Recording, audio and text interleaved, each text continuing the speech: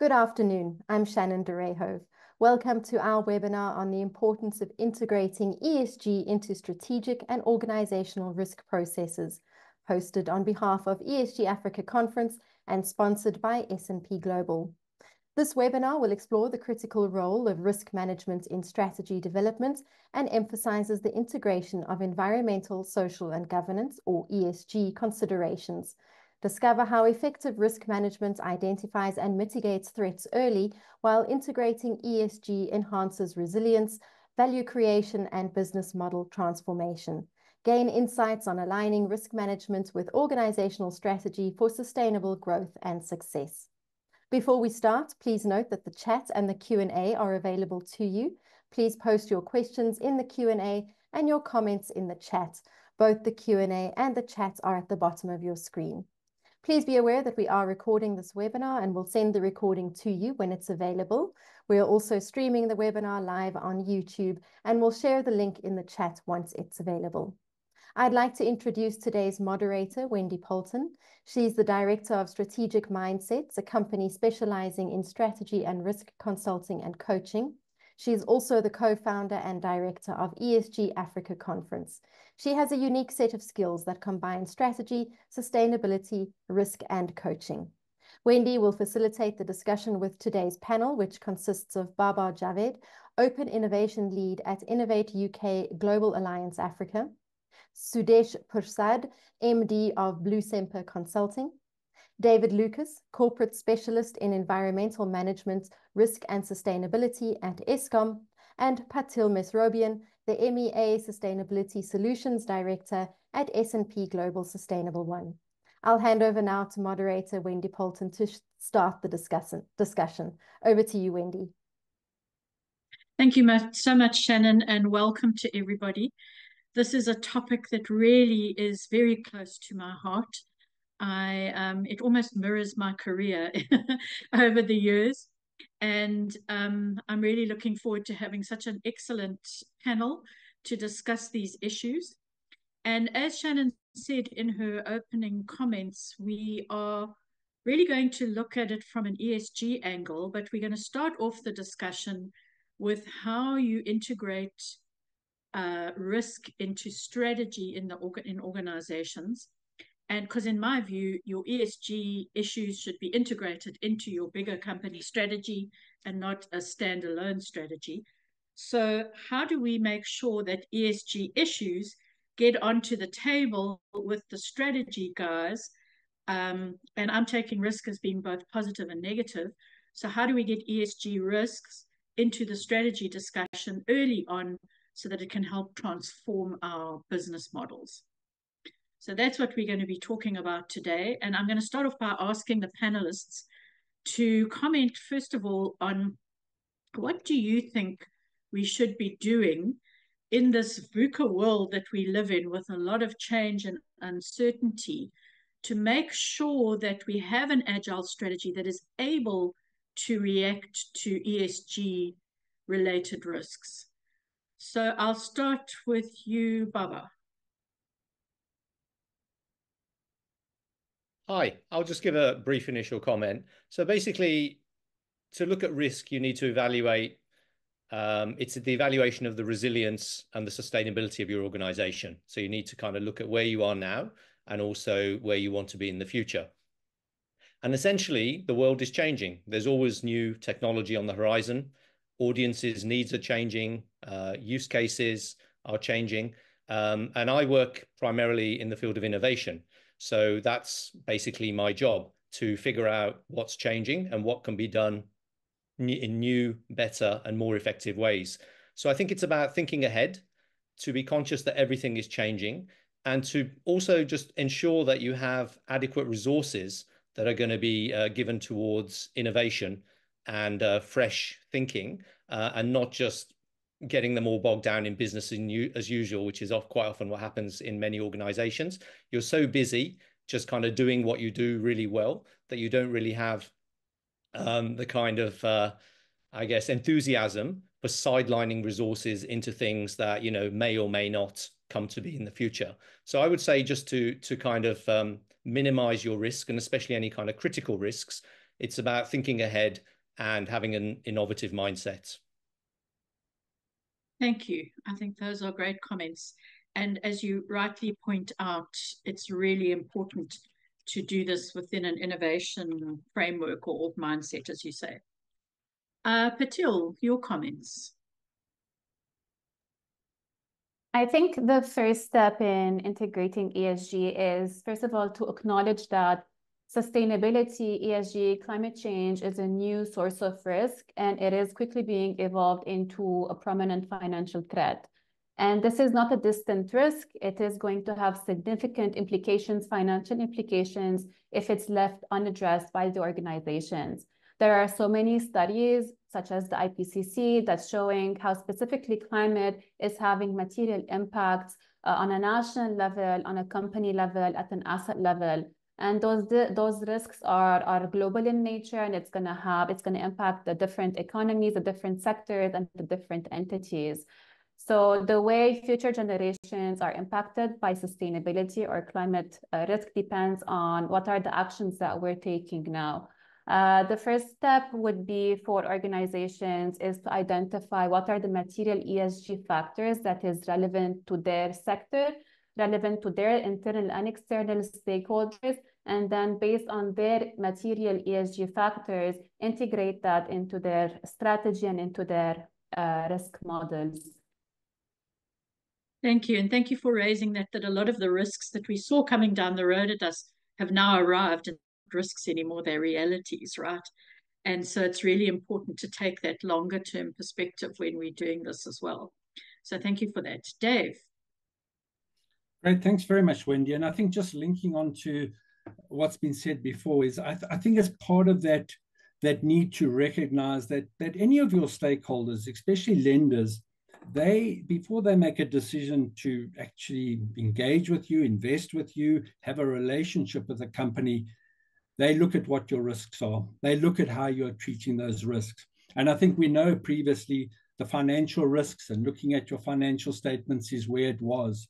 But we know that companies and especially lenders, they are looking at these ESG risks. And when they look at what your ESG risks are, they also take that whole concept of double materiality.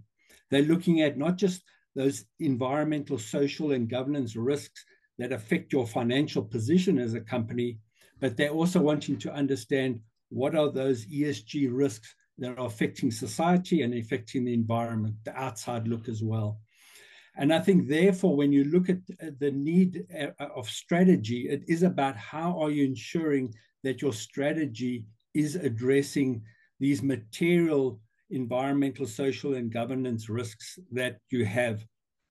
How you're treating them, how you have the governance structures around them, how you are setting the metrics in place to measure and, and perform on it. And so it is about ensuring that integration of your ESG as another one of those risks and opportunities into your whole strategy.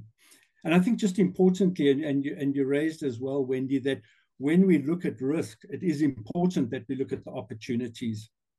And I think ESG is one of those where you're always looking at what are the environmental, social, and governance risks, what are the opportunities, and how are you then addressing or treating your risk, but how are you pursuing those opportunities that also come out of it? And we know climate change is one of those where you you both have a risk in terms of carbon tax, um, entry into other markets, um, vulnerability, but there are also opportunities. And so, for, for example, a company like Eskom, the opportunities come with a just energy transition. So it is good to look at both the, the risks and the, the opportunities and make your strategy agile to address that as well. Thanks. Thanks, Dave. Sudesh. Sure. There's a little to add, but um, I'd like to echo a lot of what the other panelists have said, and I think uh, Dave hit the nail on the head there. The risk has to be incorporated, ESG risk has to be incorporated into organizational risk. And I mean, if we look at the organizational strategy process, the organizational strategy process has a number of drivers, and one of the key drivers is risk, okay? And some of the objectives of organizational strategy, the end goal is value creation. And if we look at how the risks inhibit the value creation, then we can start looking at the components of the risk that contribute to inhibiting value creation and address it as such. So that's where ESG risks need to be considered as part of the collective and holistically um, with organizational risk. You know, it should not be seen as an afterthought. It should be fully integrated. It has its own set of drivers. And uh, I mean, Dave mentioned it already, materiality and double materiality. So we've got to look at the financial and non-financial factors or non-financial risks that contribute to the success of the organization. So, I mean, I fully support what my colleagues have mentioned here. It, we need to consider ESG risks from the very outset, it needs to be part of the organizational risk process. And in exactly the same way as we have a risk appetite for organizational risk, we need to start developing a risk appetite for specific ESG risks. And when I'm talking ESG risks, I'm talking uh, broadly across three pillars. We need to look at environment. We need to look at social. We need to look at governance. A lot of the times we make a mistake where we say ESG, oh, we'll, we'll talk about climate change, and that's a risk we will address. But we forget about the social component and we forget about the governance component. So what I'm suggesting is that, not suggesting, what I'm proposing is that when we look at ESG and the risks, we look at it collectively within the organizational risk framework and across each of the pillars. Thank you, Sudesh. Um, I want to just ask a follow-up question to the panel because it sort of comes together with what a number of, of you have commented on. And that is the fact that it's my perception that um, risk processes 15 years ago used to be very much bottom-up driven from the organization. And although we did have some business intelligence going on and a couple of things, um, it wasn't, a, and policy issues, it wasn't driven that much by external or strategic risks on the organization. And now, with issues like climate change, and as um, was mentioned about lenders putting this big pressure through financial mechanisms on ESG, a lot of it has moved sort of to external. And so, what Sudesh is saying, I totally agree with. We now need to look at not what's your risk tolerance, but what's your risk appetite for what is seen as risky changes as a result of ESG. Mm. Um, so how do we do that in organization to make that shift to be a lot more externally focused than internally? Anybody want to have a go at that? Yeah, I can have a go at that, Wendy. Thank you. So this, I mean, talking specifically about ESG, it's very, very complex because if we look at the drivers into ESG strategy as a contribution to overall organizational strategy, uh, in my view, there are three main components that contribute to, to the strategy. The external drivers, the internal drivers, and the purpose of the organization, okay? Now, when it comes to, um, to the influences, the stakeholder theory plays a very, very important part in driving and defining ESG strategy. And we see now the, the, modern, uh, the modern stakeholder is much better informed, expects much more, is better connected globally as well as to the organization. So they have an influence and they have a say. And it is really tricky for organizations to identify all of those external stakeholders, prioritize them, and then take into consideration their influence into the strategy process. Very similarly, I mean, internally in large corporates, you could be a very complex organization, multi-divisional. You have multiple internal stakeholders at various levels who also have a say. So the stakeholder uh, value proposition in ESG is absolutely critical to drive the success of any ESG initiative. So how do we become more agile given that we've got these external pressures now as well? Uh, Patil, can I perhaps ask you, what are some of the tools and practices and best practice that you see as a company that works all over the world in this area? I just want to echo Sudesh and what he said. And first of all, identifying those key drivers both internally and externally this is something that should be done in the materiality assessment exercise where we look at what are the external and internal stakeholders, look at it uh, from a, a, a, impact perspective, risk perspective, uh, factors that are going to have an impact on, on, on the business continu continuity, and then identify what are the key metrics that should mm. be used to inform the strategy, and then use those metrics later on to, to, to monitor the performance, to, to monitor the effectiveness um, of, of, the, of the strategy and of the overall uh, value uh, that the strategy is, is aiming to have. In terms of the different tools and methodologies uh, that are available to support integration of uh, sustainability, climate, into risk and strategies, uh, there are there are many. Uh, sustainability is a complex issue, it's an evolving issue, and it, it's going to be difficult to assess it and manage it without the right tools, methodologies, and guidances out there.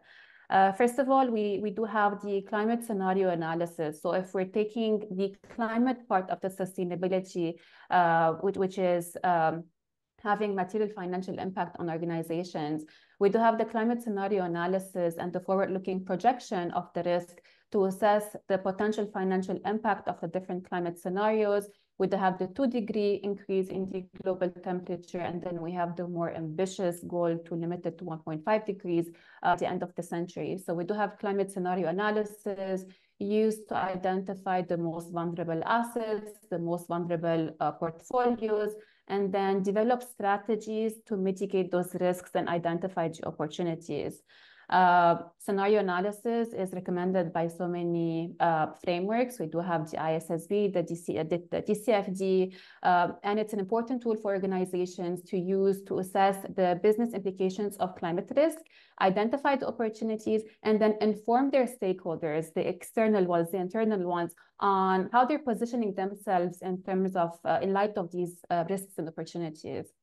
Then we have climate stress testing. Uh, climate stress testing involves subjecting the company financials to different um, scenarios, including the NGFS scenarios, which is the uh, network for greening the financial system. And here, uh, the climate scenarios are used to forecast the complete uh, company financial statements on their different uh, uh, climate scenarios. then we have physical risk assessment. So physical risk assessment includes identifying and assessing uh, the different physical risk hazards and how they're posing a financial um, risk on the company's assets uh, uh, under those forward-looking scenarios.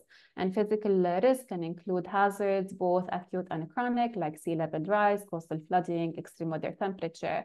And at S&P, we have done many studies, and we have found that, especially in Africa, 77.6% uh, of the companies have at least one asset uh, that are uh, exposed to a high risk under the IPCC's medium-high scenario by 2050.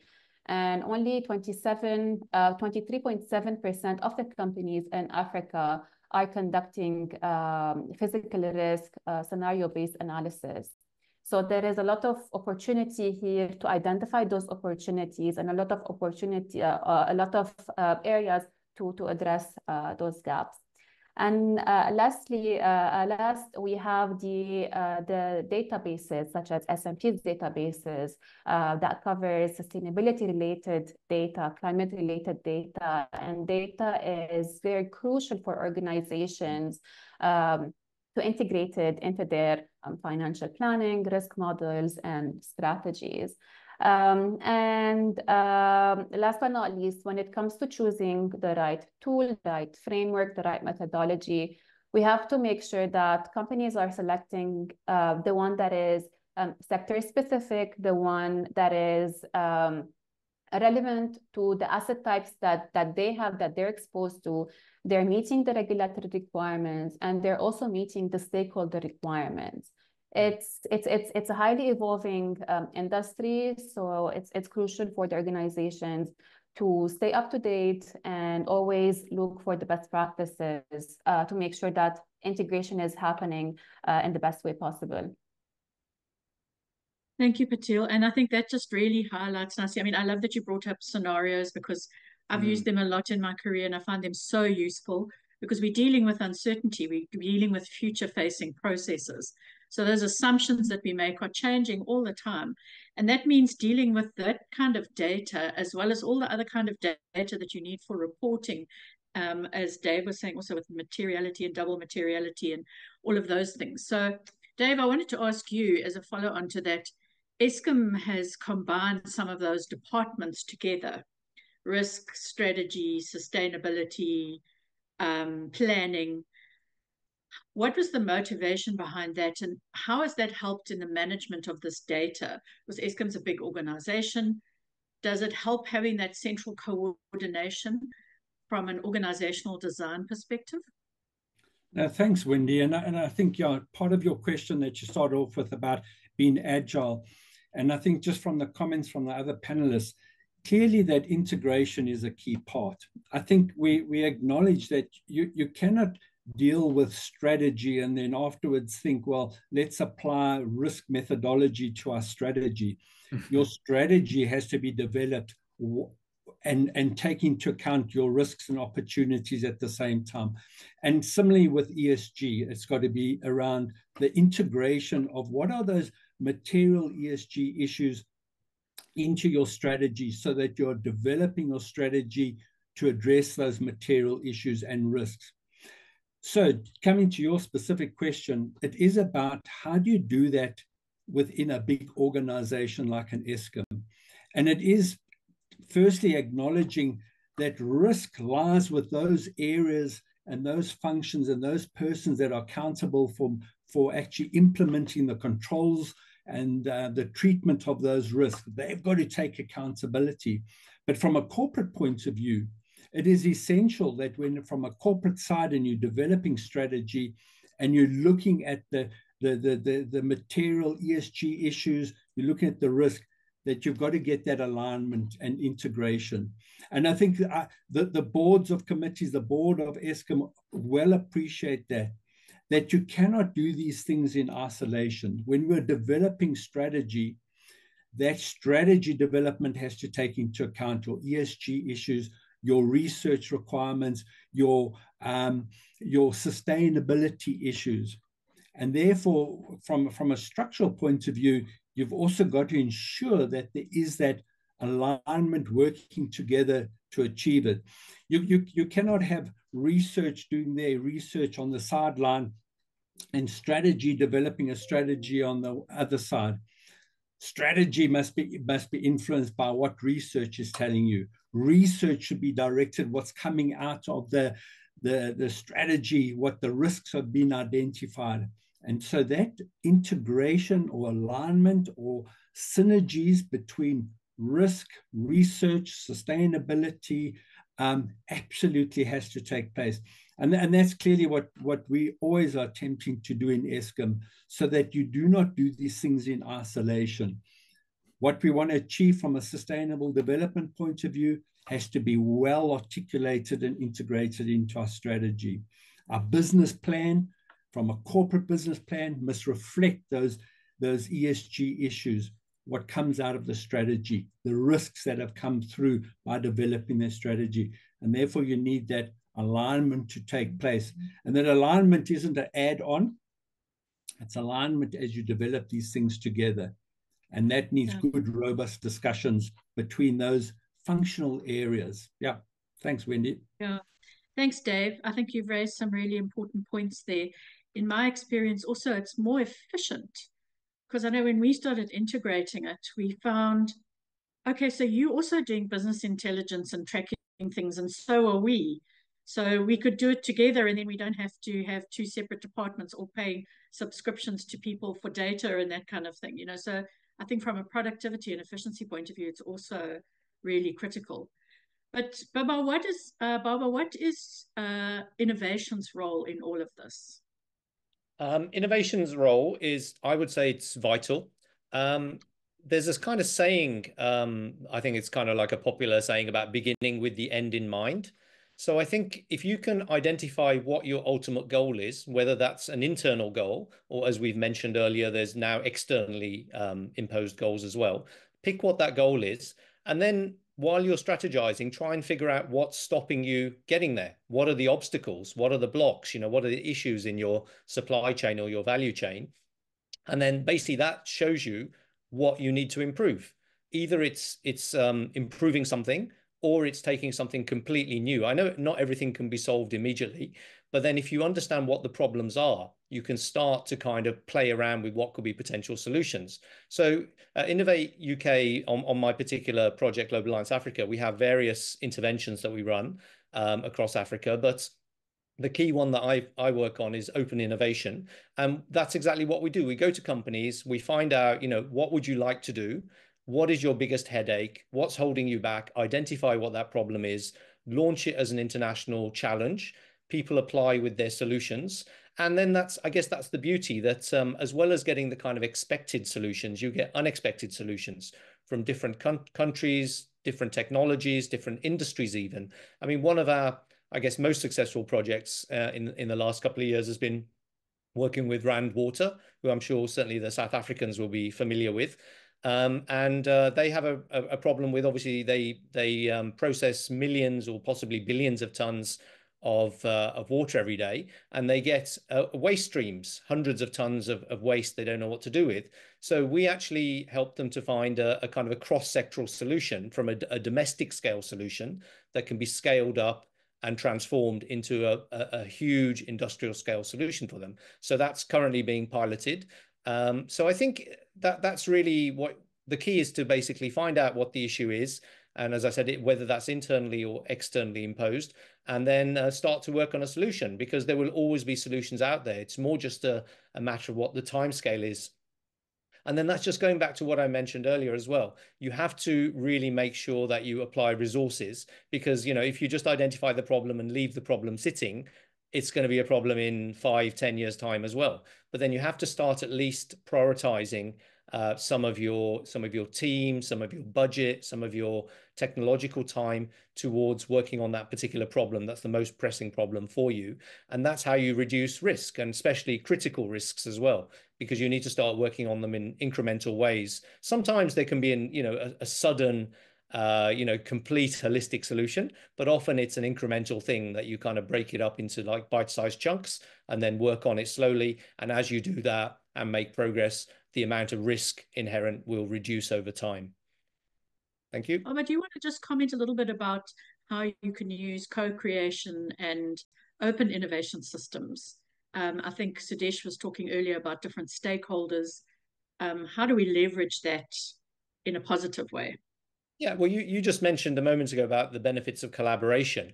I mean, that's exactly what it is that basically you engage with people who are outside of your networks, outside of your um, current supply chains, value chains, and um, you engage with them and you sort of then scope out projects together and um, and work on those projects and then get a positive outcome. And then, I mean, in our program, we're not the only people that run obviously open innovation programs. It's a well-established methodology, but we do have a particularly simple, accessible system because we're aware that a lot of people they don't have huge amounts of time to spend on making uh, you know, lengthy applications that are 20 pages of text. So we make it a very simple process. So I think accessibility is very important as well. We make it easy for, for our partners, i.e. the people with the problems, and we make it easy for the people with the um, uh, the solutions to actually come on board and collaborate actively with these partners. I mean, otherwise, how easy would it be for a little Rwandan startup to, for example, uh, uh have a live project with Unilever? Or a little kind of husband and wife team with a bright idea to start working with Flamingo Horticulture, you know, who are um, sort of global producers and exporters of fresh produce.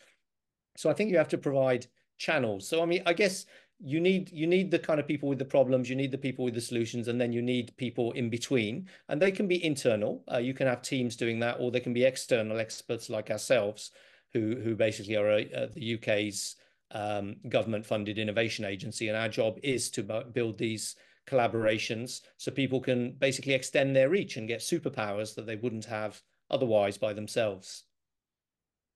Thank you. And you mentioned SMMEs, which is obviously really important for Africa, as the majority of our economies in Africa are um, driven by SMMEs. Um, but they would, some of them, if you speak to them, say that ESG in of itself is a risk to them because it's all this extra requirements that there is coming down the value chain with double materiality issues coming to the fore, and now they have to to produce in this area, um, which is an additional burden on them. Anyone on the panel got any comments on that? How we sort of help this risk and ESG drive um, with SMMEs? Sudesh. Yeah, let me let me take a stab at that. So in, in a recent study that I've just conducted amongst South African corporates, uh, I did speak to some SMMEs as well. And the message is clear, exactly as you say, Wendy. You know, I'm, I'm struggling to keep the lights on. I'm focused on keeping my business sustainable and operational. I don't have time for all of these fancy requirements of yours. Okay. But and, and that's where I think supplier development amongst the large companies becomes very important. The collaboration that uh, Baba was speaking about, the innovation that he also spoke about, I think it becomes very critical because if we look at the as we move into scope one, as we move into the focus on scope three emissions, they're part of the value chain and they will certainly have to start playing a bigger role and be more conscious of it. So if we're talking risk and organizational risk, if they're looking at their scope three emissions and the impact of the supply chain on their operations, they have to start focusing on supply development, especially the SMMEs who are the, the foundation and the building blocks of many of these large verticals that we see. So, I mean, sadly, SMMEs cannot do it on their own and they do need the support of large corporates and the supplier development program in the large corporates to help them develop the infrastructure, develop the capabilities, and support them in the longer run. Anyone else on the panel want to talk to that? Dave, have you got any experience from an Eskom perspective on, you know, pushing some of these requirements down onto SMMEs? Well, I, well, I think what Sudesh was saying, it is part of your supply development side. So from an Eskom point of view, um, we have many suppliers and many of them small companies. And therefore, it's important as part of the processes that we got in place for supply development to assist them in terms of meeting those requirements and making sure that they, they, they form part of that contractual um, agreement that you've got with suppliers. But, but I think it's also about making sure that these issues of ESG, double materiality, and all of that is, is, is sort of broken down into the simple part of what does it mean? What does it mean to have uh, these risks? What does it mean to have to deal with um, social issues? And what does it relate in terms of that product or that service that you're providing us and how does it have to be dealt with? What is the expectation?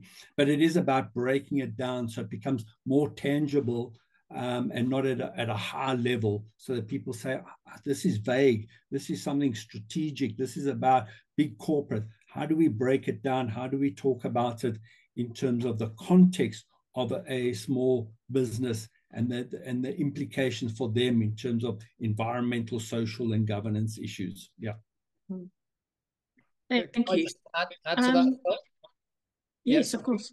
Yeah, we onboard obviously a lot of a lot of kind of small businesses as the as the winners of our challenges, and I think it's important to have we we do a very kind of careful due diligence program as well to make sure that they fit the various requirements in terms of ESG and sort of financial credibility. So I think it is really important though to as as um, Dave's mentioning to train them. So we offer them pitch training, for example, so they kind of really know what they're doing. We also have a certain degree of flexibility because not everyone is in the same place. So I think it's okay to have a little bit of flexibility. I'm not saying break the rules, but you can accommodate people as best you can and don't just, you know, because they haven't ticked a certain box, they're suddenly no longer eligible as, as, a, as a partner or a collaborator. So I think it's just important to retain a bit of flexibility in the process, um, but all obviously working towards the same goal.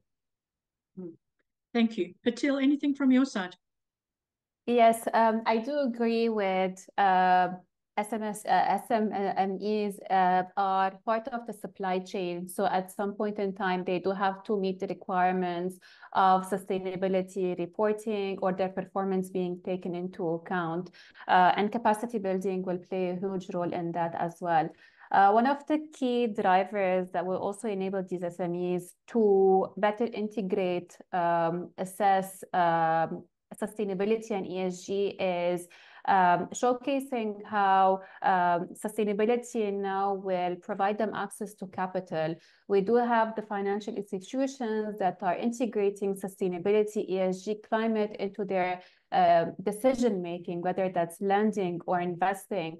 So it's also uh, for their own benefit to, let's say, secure financing at lower interest rates or to, to, to secure capital in one way or another, to also meet the requirements that uh, those um, uh, stakeholders, the financial institution stakeholders uh, that, that they have. Thank you. That's a really important point as well, I think, is that it's um, it's bi-directional risk, right? It's coming from all kinds of different areas on the SMMEs. Um, while I've got you, I wanted to then ask a follow-up question on sort of while we're talking about the burdensomeness of the reporting, there are also emerging issues, right? So we've now got nature-based reporting like TNFD. Now we're going to the next level. What is uh, what are some of the risks and opportunities and processes we're going to have to do to incorporate that? Uh, one of the first things to um, acknowledge is that climate and nature are inseparable. And we have more studies where investors, companies, all types of stakeholders recognizing that biodiversity, natural capital, and ecosystem dependencies are inseparable uh, from a robust climate strategy.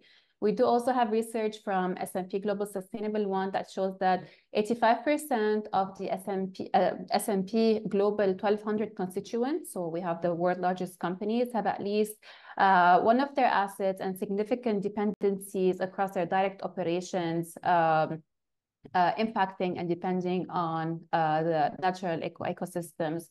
So it's very important to measure and protect uh, natural resources that companies and communities rely on. Uh, nature is more than a climate. So climate is short for climate change related transition and physical risk opportunities, whereas nature is, is, is, a broader concept. It includes land, ocean, freshwater, and atmosphere. As for the TNFD that you, you mentioned, the Task Force for Nature Related uh, Financial Disclosures.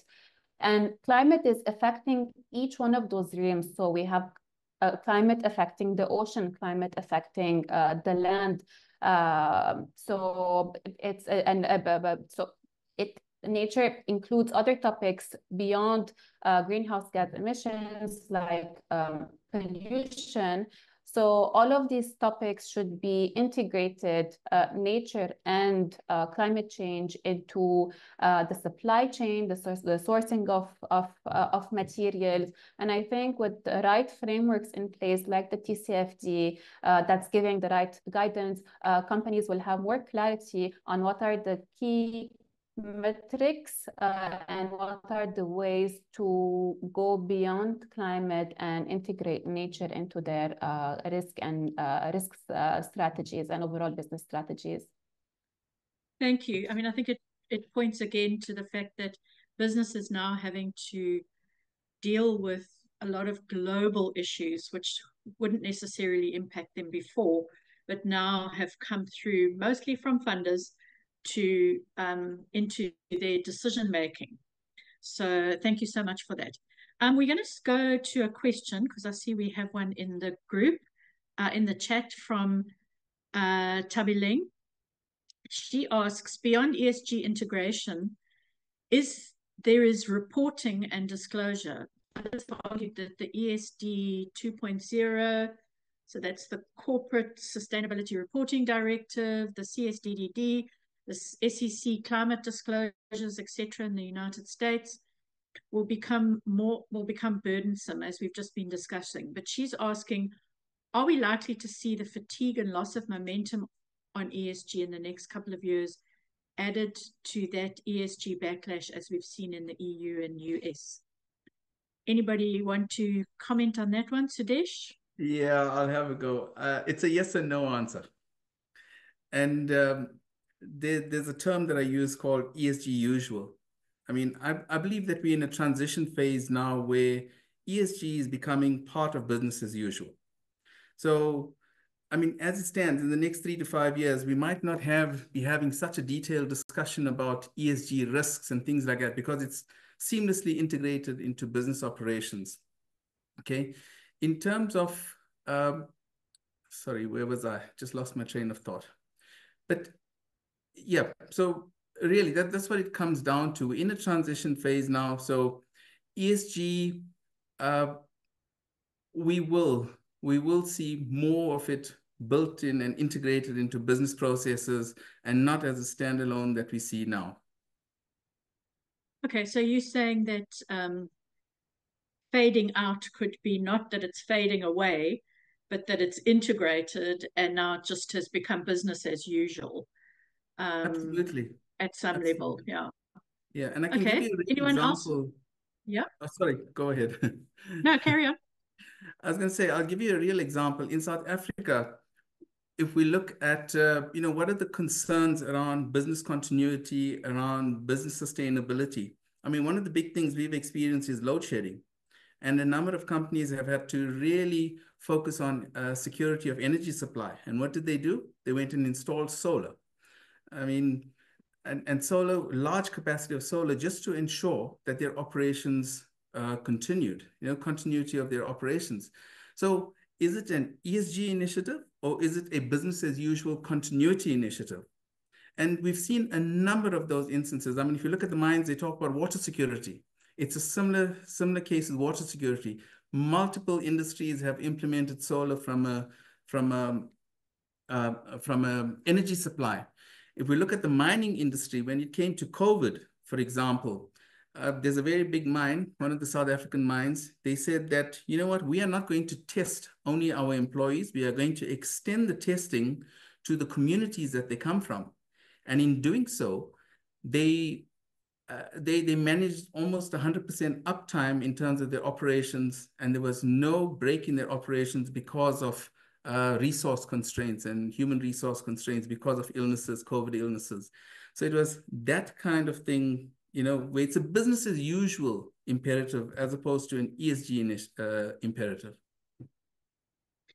Yeah, I think I've just recently done some work in the food and beverage manufacturing sector, and a lot of them said that, but a lot of them also said we're getting pressures from our customers to mm. um, reduce our CO2 emissions. So if we had a choice between a solar panel and storage and a generator that's diesel driven, we chose the solar panels because of, we could see this future risk around the carbon intensity of our exports into the EU or something like that, you know. So it's very complex, as you say, right? Anybody mm. else want to talk on that comment? Patil? Yes, so this question actually uh, uh, takes me back to something I said earlier, which is uh, selecting the, the, framework that is uh, sector specific that aligns with the uh, requirement, whether that it's regulatory requirement or stakeholder in, uh, requirement. So there are many frameworks. Some of them are specific to financial institutions. Some of them specific for um, investors. So uh, first step is to always identify uh, the framework that is relevant for your sector, for your industry, uh, for, for, for, for your regulator.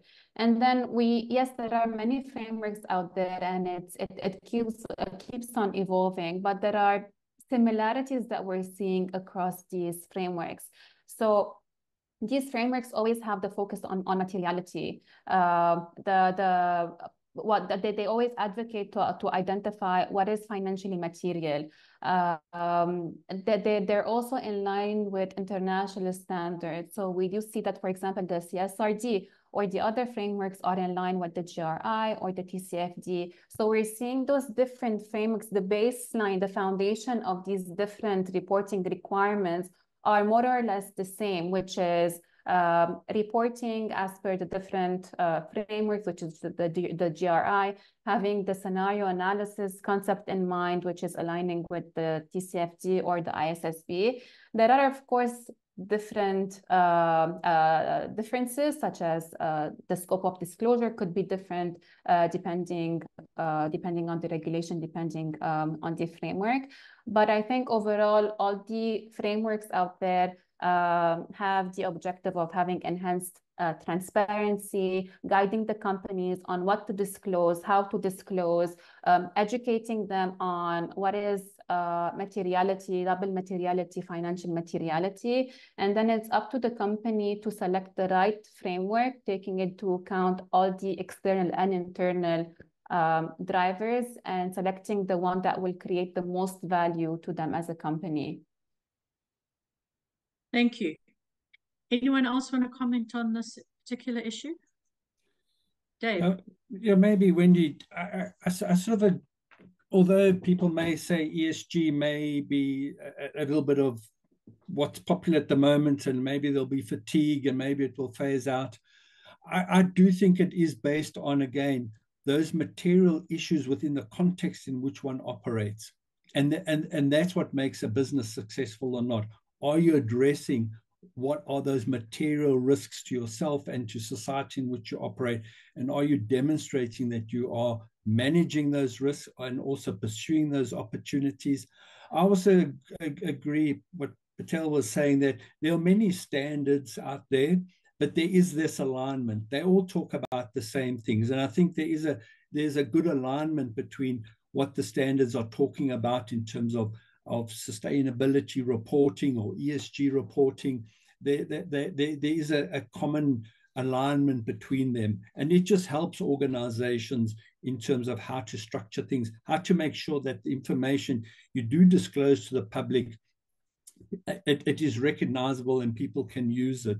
But I do think ultimately it is about the sustainability of an organization. It is about have you identified what are those material um, issues facing you from a sustainability point of view? Yes, and they clearly often are environmental, social, and governance issues, as you do with technology, um, about finance risks, and it is about how you're treating that and how you're pursuing those opportunities. And so ESG may seem like a little bit of a flavor, but it is something that we have always been aware of and pursuing from a sustainability point of view. And it's just making sure that we are consciously always looking to say, have we really identified all the material issues? Are there new emerging material issues that are impacting on society or impacting the environment that we haven't identified, but our stakeholders are telling us about? and that we are making that part of our strategies, making it part of that risk processes that we have. Yeah. Yeah, thanks, Dave. Um, Baba? Yeah, just, just to, to briefly add to what my um, uh, fellow panelists have said, you know, Dave and Sudesh, I agree, business as usual is always changing. There's always going to be, you know, kind of uh, further expectations in terms of doing a better job. And um, what that leads to, it will be the next set of challenges to be solved. And as Patil said, it's up to you then to identify what are the key drivers. You know, what are these next set of challenges now that the parameters of business as usual and uh, expectations have changed, and then that would be the focus of your innovation efforts, basically, to then focus on whatever's coming next.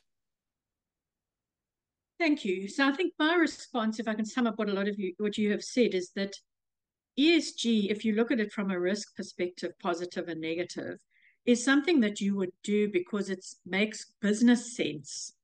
Not just you're not just doing the right thing, you're doing it. You have to you make the business case for doing it. And um, I wanted to ask about you know the competitive edge that that gives. If you ignore that stakeholders are going to also the social aspect, um, and I see these comments in the chat about um, you know, we know that's happened in the US with some states saying you shouldn't include social issues into um, financial decision making.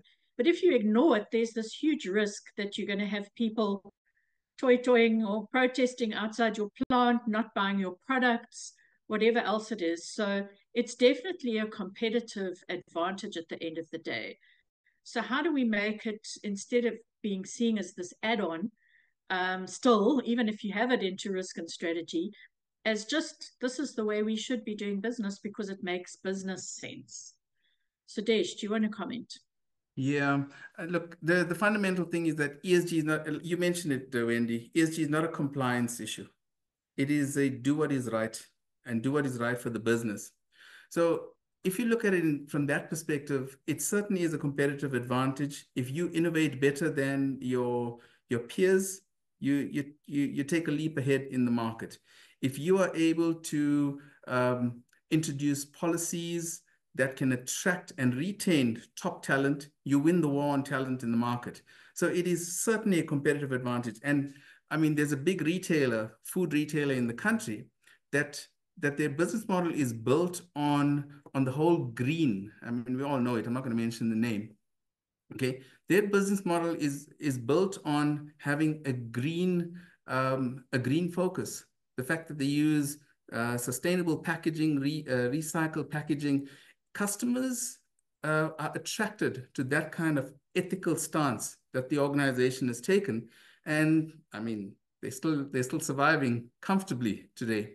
So I mean, those are just three examples, but there are multiple similar examples in the country where ESG is a competitive advantage. Um, yeah, I mean, there's I won't go on with more yeah. examples. Thank you. And you raise a really important point there also about that it's, and I think Dave also spoke about it, is everybody in the company has to implement ESG.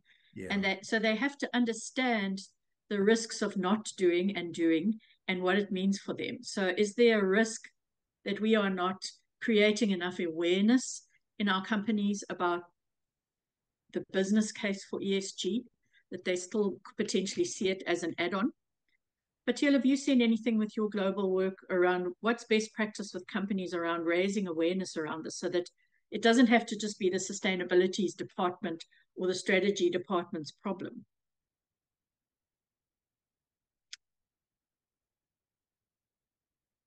Patil, you on mute? You on mute?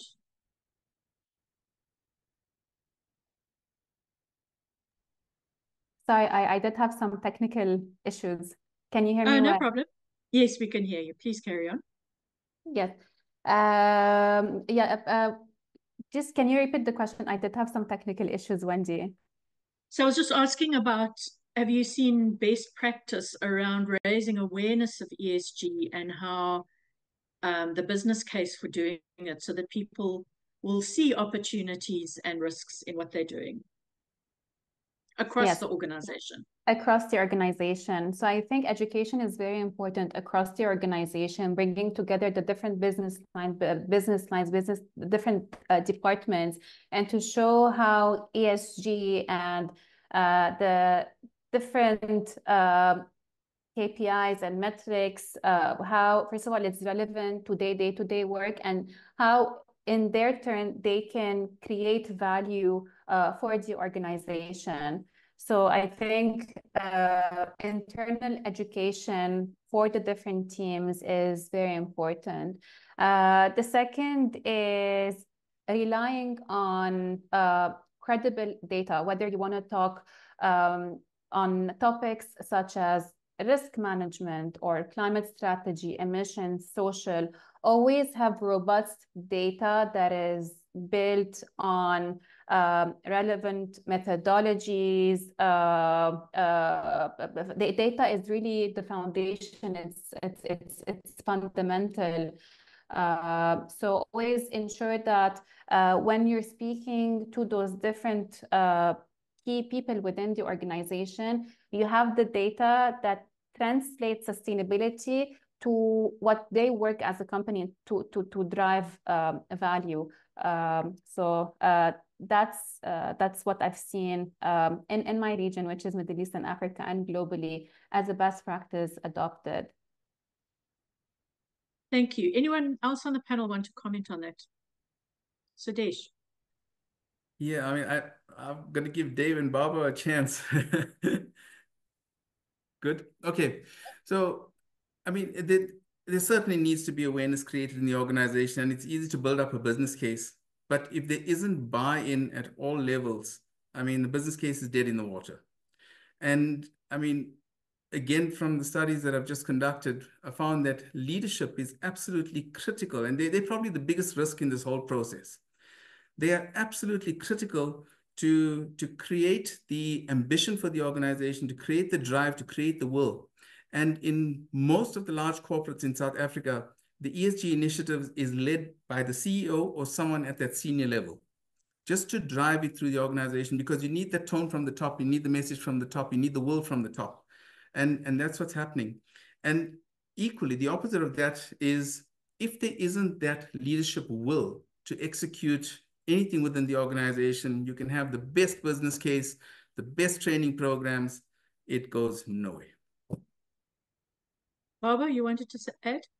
Yeah, I was I was just going to uh, add, you know, obviously there's the internal side and the external side is is super important as well as we've kind of briefly touched on. I mean, my initial career was in marketing and then I moved more towards sustainability and innovation. And I sort of forgot about marketing, but now I've rediscovered how important it is because you can make all the changes uh, you want.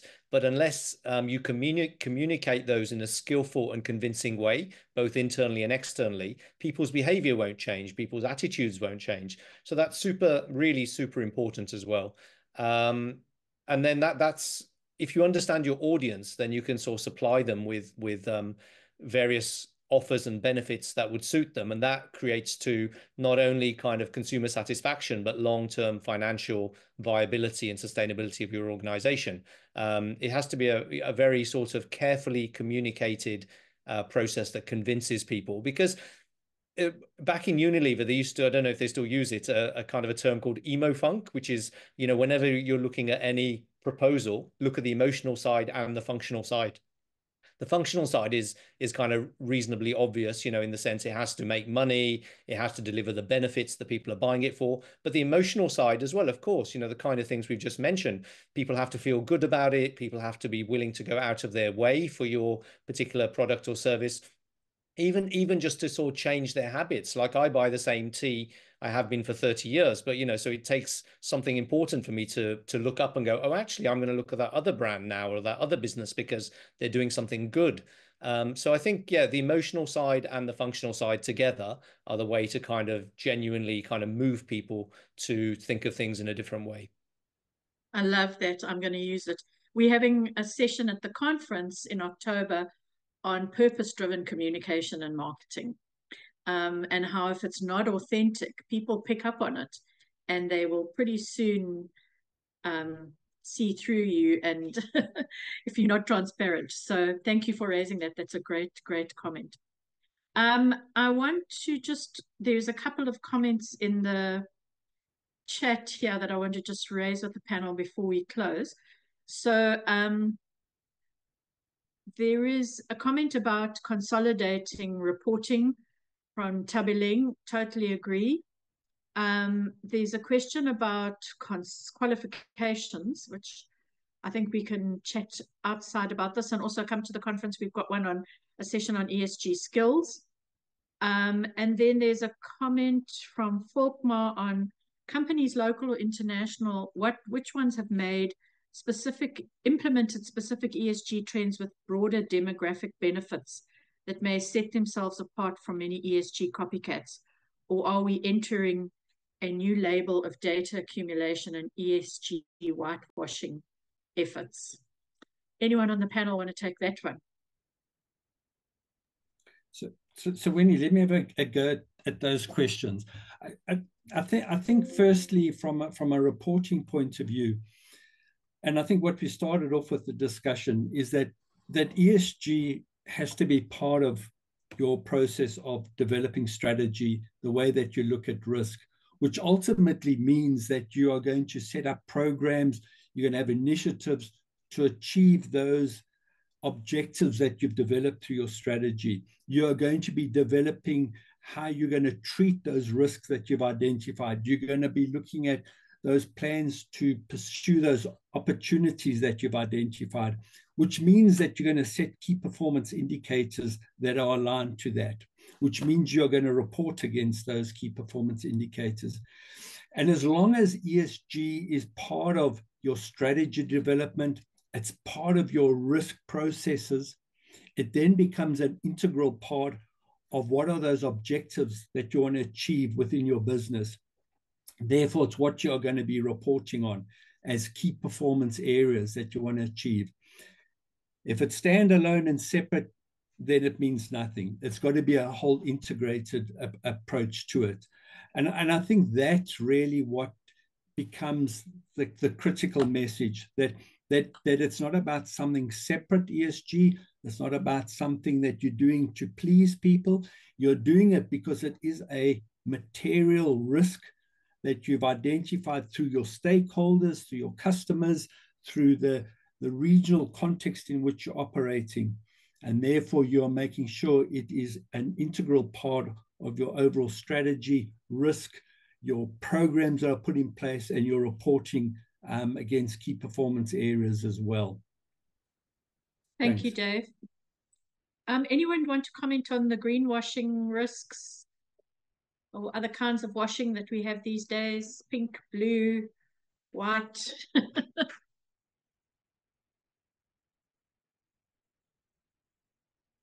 no, I think it's a huge risk uh, for, and so I'm glad it was raised in the chat. Um, I think it's what Dave says. If you're transparent and you report on material issues and you do what you say you're going to do, um, then it shouldn't be an issue. But yes, there's been a lot of cases around greenwashing um, and pinkwashing and whitewashing and blue washing, people saying that they were members of the Global Compact and they weren't, and things like that. So that is a huge risk if you don't, you're not transparent. So we've come to three o'clock, and I see there are no more questions in the um, in the box. I'm going to ask each panelist just to make just a minute on closing comments. What is your, I think, Dave, you've already made your takeaway comment on the integration, um, which I think is a really good one. Do you have anything else to add? I, th I think also just, um, Wendy, the, the, the issue around innovation, I know we touched on it a, a bit earlier on, and, and I think that the good old saying by old Peter Drucker, culture eats strategy for breakfast. When one looks at ESG, when one looks at risk, when one looks at strategy and pulling these together, it requires an innovative approach. And that innovative approach isn't something that is part of your strategy, it's part of the culture. And it's a part of the way you get people to look at and, and the way that they pitch up at work. And so it's very important. So, like in Eskom, we talk about the Eskom way.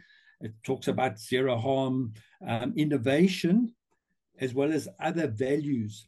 But that value of innovation means that the way that we approach risk, the way that you approach your strategy, the way that you approach ESG means you've got to be innovative.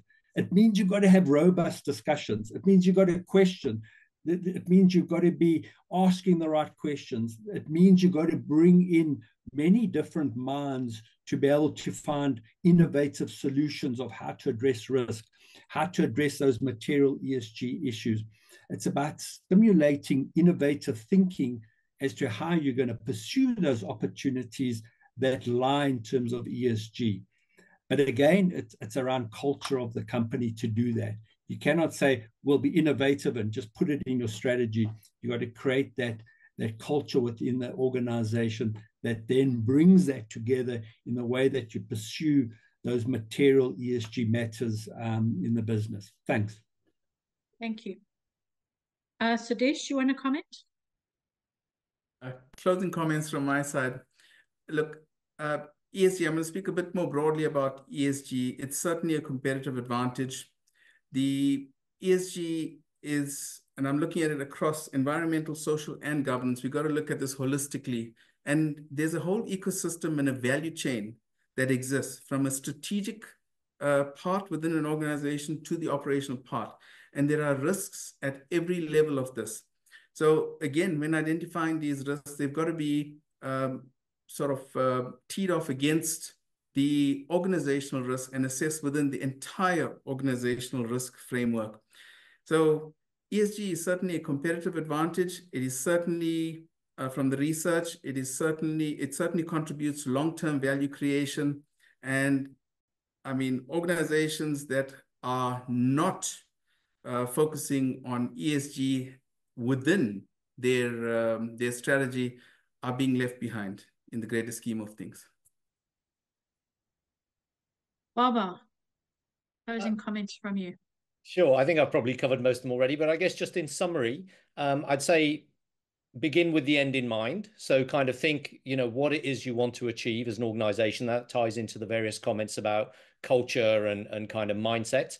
and then identify what the key challenges are that you need to resolve and and um, and kind of find the key drivers uh, whether that be through innovation processes or, or other kind of processes that suit your industry um, and then what if you do manage to make progress and solve your issues in the ESG space and other spaces as well, you'll find, I guess, um, the the risks are reduced because you will have a longer term kind of resilience to your business and the opportunities are increased because you'll be, find ways of um, generating value, whether through circular, you know, thinking or, or otherwise. And you'll also have a lot of collaborators in place as well, where you can work together on kind of broader um, kind of industry solutions as well as solutions to your specific industry. So I think it's just about um, yeah, collaboration, innovation, and obviously the many insights that my fellow panelists have mentioned.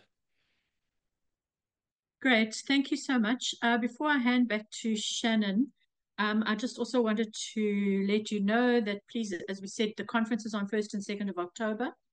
Our next um, webinar is going to be on another issue that's very closely linked to what we've just been talking about and what Dave was saying about culture eating strategy for breakfast. And that is systemic change as a really important tool for driving ESG. So we've got some really great panelists lined up for that, and I hope you will be able to join us. But thank you so much to my panelists, and Shannon, I will hand back to you. Thanks, Wendy. Thank you all so much for joining us today. It's been a pleasure sharing the topic of integrated ESG into strategic and organizational risk processes. Before we wrap up, I'd like to extend my gratitude to our moderator, Wendy Poulton, and guest speakers, Baba Javed from Innovate UK Global Alliance Africa, Sudesh Persad from Blue Semper Consulting, David Lucas from Eskom, and Patil Mesrobian from S&P Global Sustainable One. They've all contributed in making this webinar a success. If you have any further questions or would like to continue the conversation, feel free to reach out to us via email at shannon at creamermedia.co.za. If you're interested in hearing more about the ESG Africa conference, please visit the website at www.esgafricaconference.com. And lastly, we value your feedback, so please take a moment to fill out the poll that's on your screen now. The next ESG Africa conference webinar takes place on the 12th of September 2024 at 4 p.m as Wendy mentioned. The link to register has been shared in the chat. So with that, I'd like to bid you all farewell. Thank you so much for your time and we'll see you next time. Goodbye.